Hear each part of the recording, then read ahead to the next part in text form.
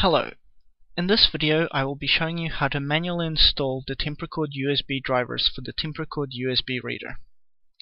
The first step is to connect the reader. So do that now. As you can see, I have just plugged in the reader and I'm getting this installing device driver software pop-up. This will fail because currently we have no drivers installed. You can close this window now. The next step is to go to the www.temprecord.com slash downloads slash driverpack.html and download the following zip file.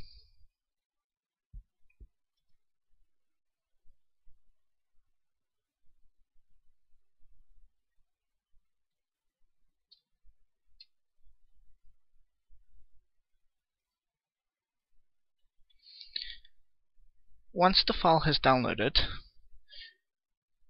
you will need to extract it. In my case, the file has downloaded to Documents, Downloads. To extract the zip file, you can usually just right click and then go extract all. Just click the extract button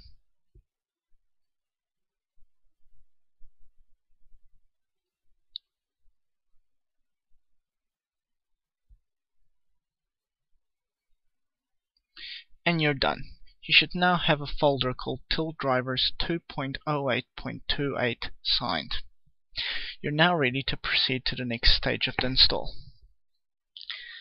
Click Start and type in Device Manager. Simply click on Device Manager to open up the Device Manager. In Device Manager, you will have other devices Temprecord USB reader.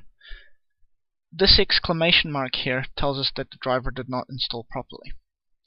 To manually install the driver, right click and update driver software. Browse my computer for driver software.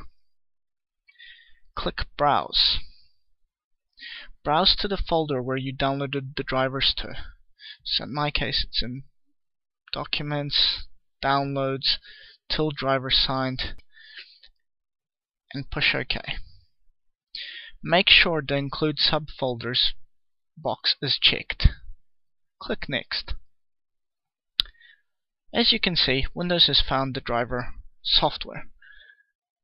It is your choice if you wish to always trust software from Temprecord International or not.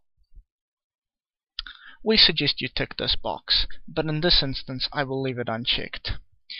Click Install.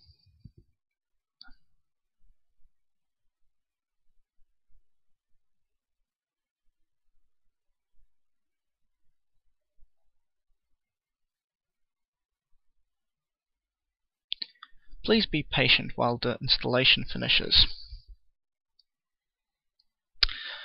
Once the Temprecord USB reader driver is installed, we will get this installing device driver software pop up again. This is because the Temprecord USB driver actually requires two devices.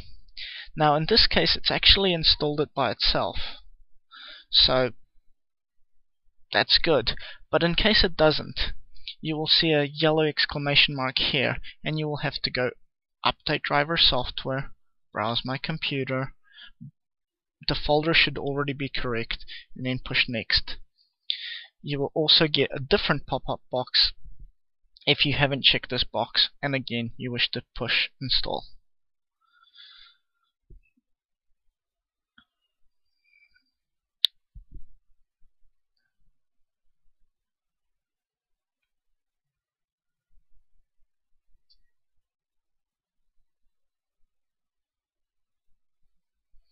Once the installation is finished, you should see that Temprecord USB reader appears under Universal Serial Bus Controllers and Temprecord USB serial port appears under ports COM and LPT.